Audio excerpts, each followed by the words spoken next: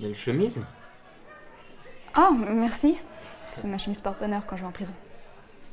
Euh, vous allez souvent en prison? Oui. Enfin, pas pour moi, hein. je suis avocate. Ah Oui, c'est vrai, je, je vous ai entendu en parler. Vous entendez nos conversations? Euh, vous pensez que les shots euh, tombent du ciel? La même chose que d'habitude? Désolée, désolée, je suis en retard. Wow C'est du sang? Oui, un étudiant s'est coupé le doigt pendant ma classe de travaux manuels. T'aurais dû voir la scène. Il s'est évanoui, je me suis évanouie. Enfin bref. Tu vas adorer. Je te garantis, ce bouquin va faire grimper ta libido en flèche.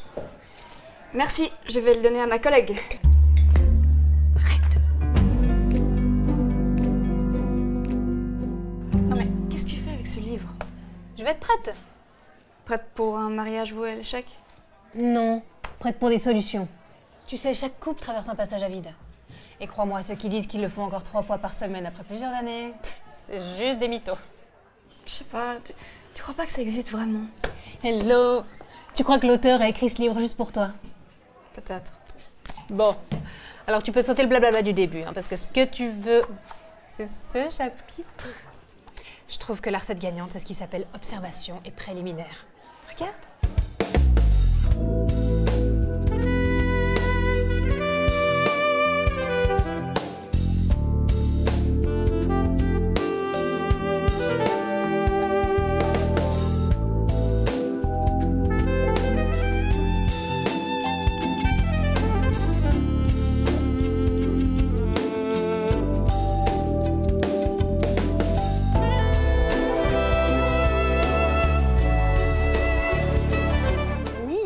Vois que ça te parle.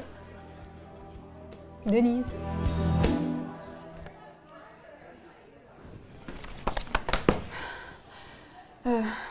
Tu sais quoi? Le livre, ça a l'air de te plaire. Tu vas essayer? Non, non, je pense pas, merci. vous, vous trouvez pas que cette chemise lui fait ressortir les yeux? Arrêtez. C'est tellement dommage qu'il soit gay. Quoi? Il est pas gay? Bah, c'est son mec au bout du bar.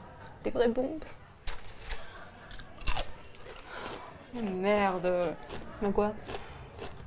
Donne-moi ce livre.